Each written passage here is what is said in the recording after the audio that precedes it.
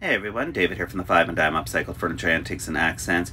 And here I am turning over this little table in order to get it painted. And I cannot express enough the importance of making sure that you're flipping a piece of furniture when you can to make sure that you get all areas covered. You'll be surprised at how much you miss just by painting it upright. Once I have everything painted this way, I'll let it dry, turn it up, and then start painting through all the details. Stay tuned to follow the process and see the end result. Ciao.